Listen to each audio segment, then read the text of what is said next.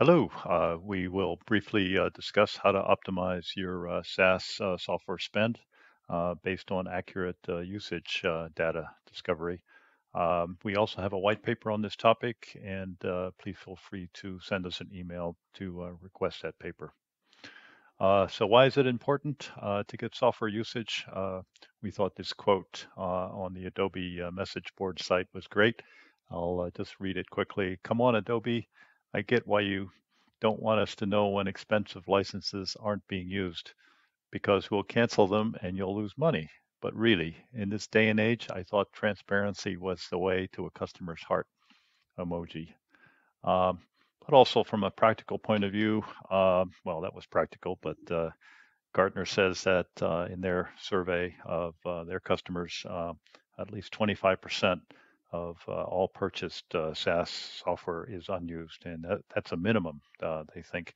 Uh, here's a copy of the uh, the title of the report was the CIO's missing key metric in cost cutting imperative in May of 2020, and we have a link to that in uh, in our white paper. Um, so subscription licensing, SaaS licensing is part of that. Obviously, a general category of subscription licensing. Um, definitely gives you more control uh, than the previous uh, perpetual license model. So you can assign users. Um, you generally have the ability to transfer licenses uh, among users, and uh, even more so, you have the ability to scale uh, the number of users uh, up and down, which is quite critical to optimizing your costs, at least on a on an annual basis, and sometimes more frequently. But in order to really do those things, you really need to have actual uh, usage data of what applications uh, uh, users are actually using uh, or not using, as the case may be. And this is an example of uh, some of the data that we get um, from Adobe. So you can see here some pretty expensive applications and actually uh, when they were last used. So this is the kind of data that you really need to have, we claim on an automated basis. Uh, so what methods can you use today? Uh, these are the ones that uh, we see are the most important, uh, most practical anyway. So obviously data from software publisher portals, uh, uh, also using Microsoft Endpoint Configuration Manager, formerly called SCCM, single sign-on, network traffic analysis, and the tools, various SAM tools have different ways of getting usage. So We'll go into all of those briefly and the pros and cons. So software publisher portals, um, these are essentially ways that um, uh, organizations can purchase new licenses, can assign the licenses, and uh, hopefully get usage data on those licenses, whether they're being used or not and how often. Um, and examples uh, of these portals are obviously the Adobe Admin Console, uh, the Microsoft uh, Volume Licensing Service Center and the Microsoft Business Center, depending on your type of uh, licensing you do. And many other, uh, all the other vendors typically have these uh, same portals. So the pros are actually great if the usage data is available and if it's accurate and detailed enough, useful enough, I should say. the cons are that many, many of the subscription software uh, vendors or publishers really don't give you usage data. And if they do offer it, it's not detailed um, enough to make decisions. Um, many are not provided at all. Typical examples are uh, Adobe, uh, Microsoft Visio Project, Visual Studio, Power BI. It could go on.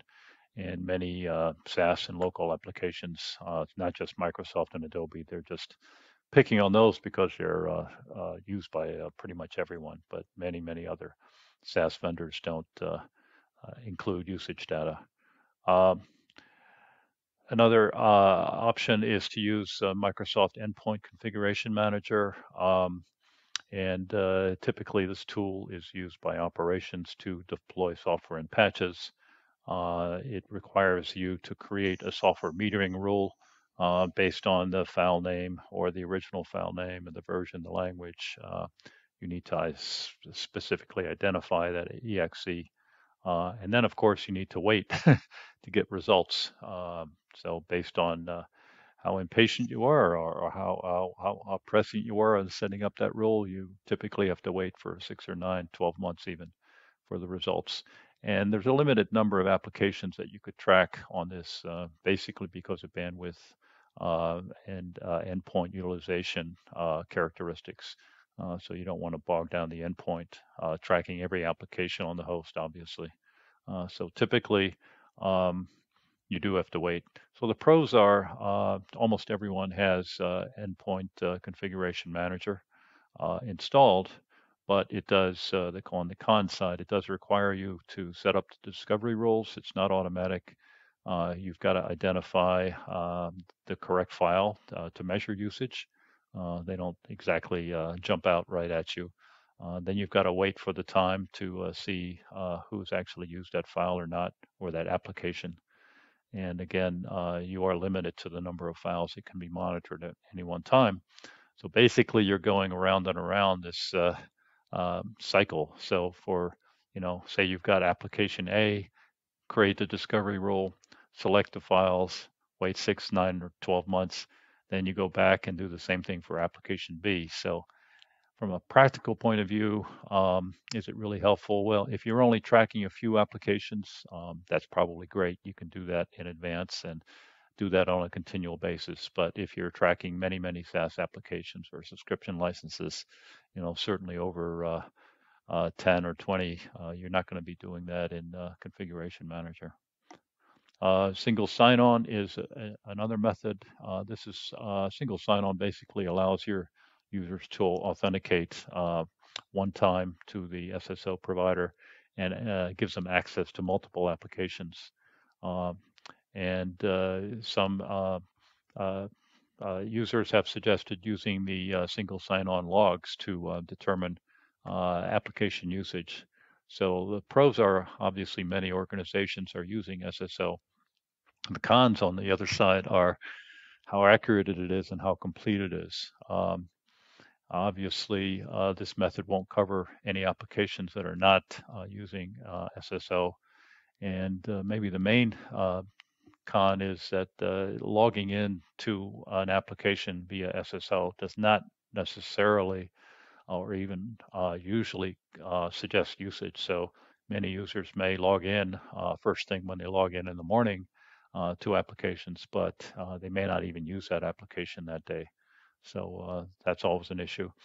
And again, also, um, really doesn't tell you which uh, part of a package of applications are being used. So you may see that you're using uh, Microsoft 365, but are you using uh, Visio or or uh, Project uh, or any of the others uh, that may be unclear.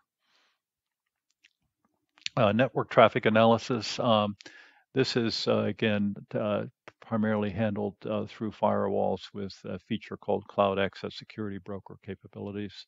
I know that's a mouthful. Uh, but basically, it's uh, generally these applic- uh, firewalls are used to uh, permit or block um, access to uh, SaaS or other applications. so the method here is really to identify the applications by analyzing that network traffic. That's done through signatures um, and through um, basically analyzing those protocols um, and a lot of heuristics, if you will. Uh, there's also, uh, as we'll see here, a fair amount of manual effort involved. Um, so it may not work for you, but it is certainly a method people are trying. Uh, a lot of organizations, first of all, uh, on the pro side, have advanced firewalls uh, and they can enable this feature or have it enabled already. Uh, but again, there's issues with the accuracy and completeness. Um, lots of issues with trying to identify an application based on network traffic. Um, you've got to have a pretty extensive um, signature list, um, and generally in the in the vendors' uh, uh, uh, online user guides, they definitely mentioned uh, manual efforts in reviewing and analyzing those log files uh, and basically mapping those signatures to applications. So, um, and also there's lots of uh, uh, SaaS, or if you want to call it subscription uh, licenses that are really not based uh, on continual network access. So you may you may not access it at all. You may only access it once a month. Uh, so that will be a difficult way to measure usage for those applications. Um, we'll go into how some SAM tools uh, approach this. Um, and uh, uh, here's an example of a major vendor. Uh, in this case, uh, you have to identify what's called a key file in an MSI. That's a Microsoft uh, installer package.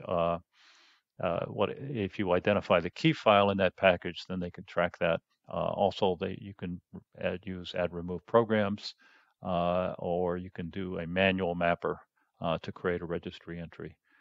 then you enable or disable those trackings, and then again, the the other uh, boogaboo about these methods are you've got to wait six, nine, or 12 months. Um, data is aggregated by the week, not by the day, so it's a little less granular than you may like, but uh, uh, maybe good enough.